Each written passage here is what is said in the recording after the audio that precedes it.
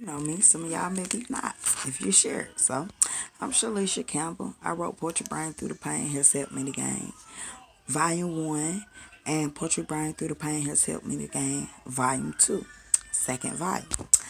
And I, my books are nonfiction, and I talk a lot about real G stuff, like Summer Walker was talking about. I see a lot of posts saying how she wasn't washing and all that stuff like that. There's a lot of people in this world wake up and just be depressed and stressed and don't wash. I talk about that in my books. I put it in my books. How days I wake up and I just don't want to wash because I'm depressed and I'm not going to wash.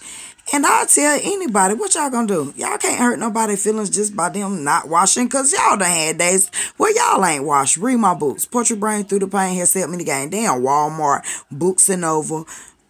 Just check them out everywhere. You punch in Shalisha Campbell, you will see my boots is everywhere. Non-fiction, so y'all sitting up here talking about some Summer Walker and what she got going on. Y'all need to have, y'all need to be real too and tell people what y'all got going on. How everything ain't good in your life. And when we be honest and tell people what's really going on in our life, y'all think y'all finna down somebody, make somebody feel some type of way. But you wrong for that. Summer Walker did what I did in my books. In 2015, my books got published. And it's telling you how I go days without washing because I'm depressed. I have a mental illness like a lot of people do. Everybody bipolar. So you're to sit up here and talk about this girl because she didn't wash? Really? Y'all ain't even wash. Y'all ain't even washing good. Let me get a white towel and rub you and see what filth come off you.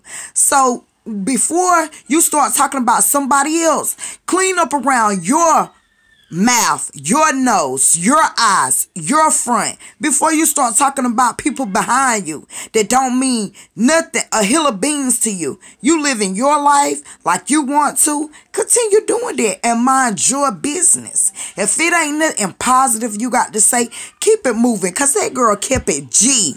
Summer Walker kept it G. And y'all need to keep it G too. Y'all done being days without washing and stuff. So cut it out. Cut the foolery. Really.